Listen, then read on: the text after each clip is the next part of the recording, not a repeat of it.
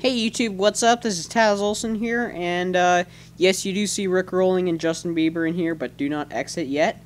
We're going to have some fun with this, I promise. So anyway, um, what we're going to do is work on editing the output of your uh, speakers, which um, it's quite useful. Like, you know, there's always people who can edit the sound later, um, but sometimes you just want to hear something sound a little different instantly. So, um, yeah, let's. Uh, I'll show you how to do this quickly. It's really fun, I promise you. Uh, so anyway, you uh, to find you basically have to find out what your audio driver is. So um, or who provides it. You can put your mouse over the volume section of uh, the volume adjustment, and it'll say speakers, and then what yours is. Mine is Realtek HD Audio. Or alternatively, you could right-click Playback Devices, Speakers, and it will show here.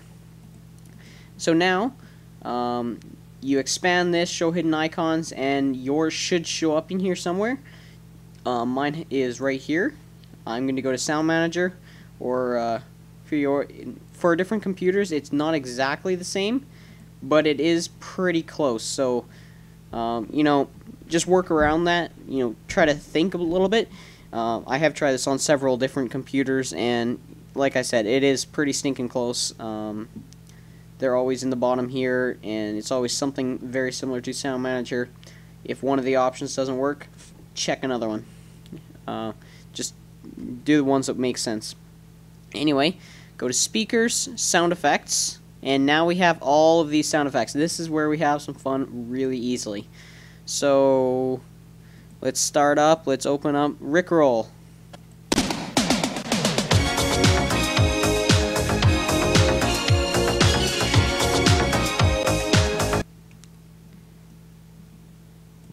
Anyway, um, so we heard that. Now, um, somewhere on here, this is, uh, you should have this karaoke, or it could also be called pitch or key.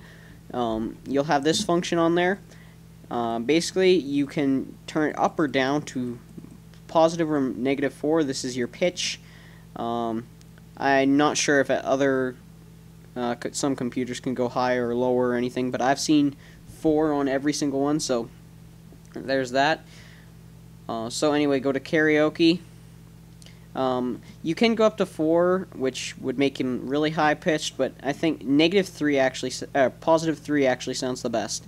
So I'm to play this now, and you will notice it actually does sound better.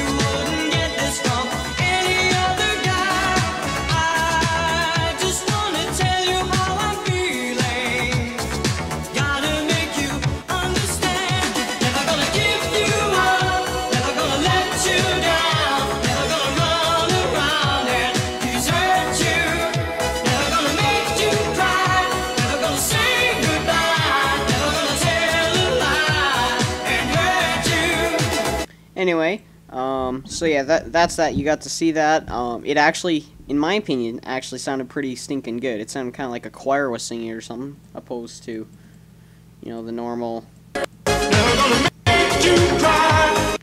Yeah. Anyway, um, yeah. Anyway, there's plus three. Um, now let's go on to uh, Justin Bieber. Yay! Plus three. This actually, it's kind of interesting because it actually makes him sound really, really good at singing in a different pitch. This one sounds makes him sound a lot like a girl though.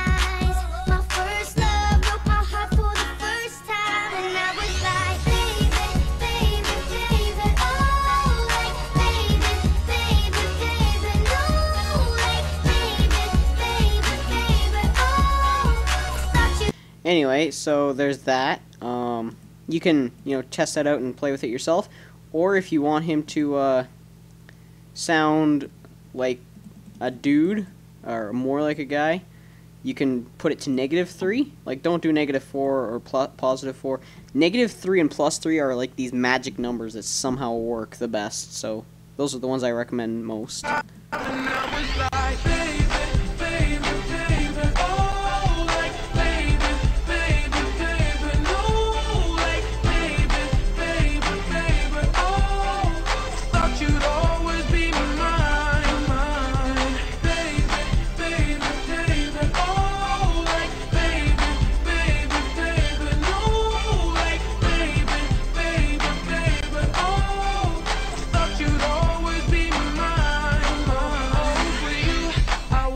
So yeah, there's that. Um, I think that again sounds pretty stinking cool.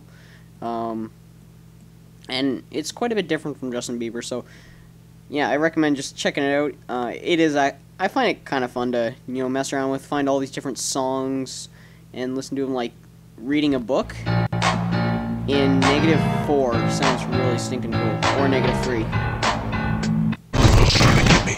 She cooked. I'm reading book, girl. I'm reading book. Never reading a book on the shoulder.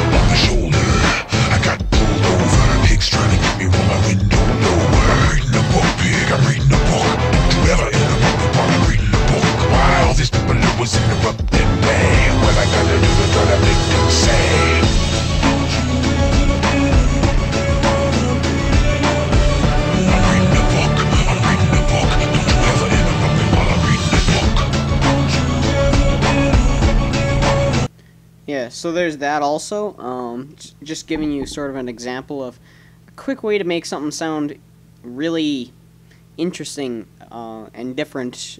You know, try out all these different songs. If you find a song that also sounds good, uh, let me know what song that is.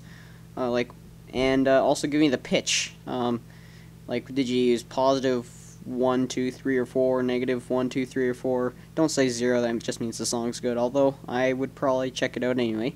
So, uh, yeah, there's that. Um, you can also mess around with these equalizers and, or, and environments. Um, environments, padded cell and none are like the same thing, so I don't know why they're there. But, uh, yeah, you can have this.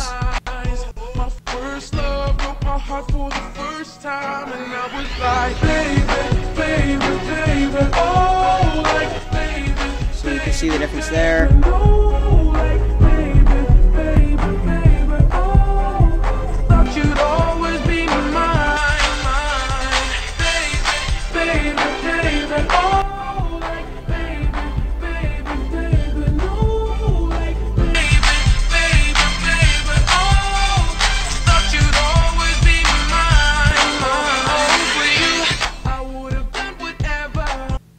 So there you can you know, sort of see that one.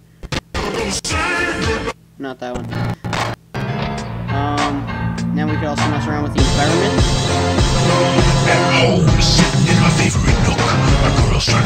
The only issue with the, uh, having the environments is they are quite, uh, a lot of them echo quite a bit and it actually gets kind of annoying, especially like Arena.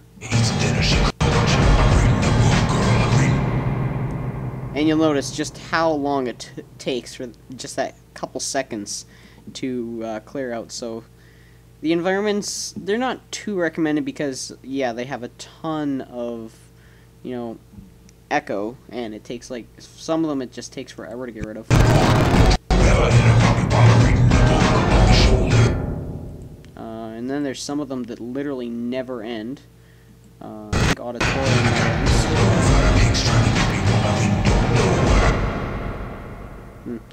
I guess that one ends, but yeah, it's it's just absolutely crazy. But um, yeah, you can have a little bit of fun with those. Um, yeah, let me know if you find any ones that are good. So anyway, uh, hope you have a lot of fun with that. If not, um, sorry, that's uh, that's the guide for today. But uh, anyway, if you don't like this guide, wait till tomorrow. Maybe there'll be a different one or that you like. Um, anyway, uh, my name is Taz Olson. Signing off. Bye.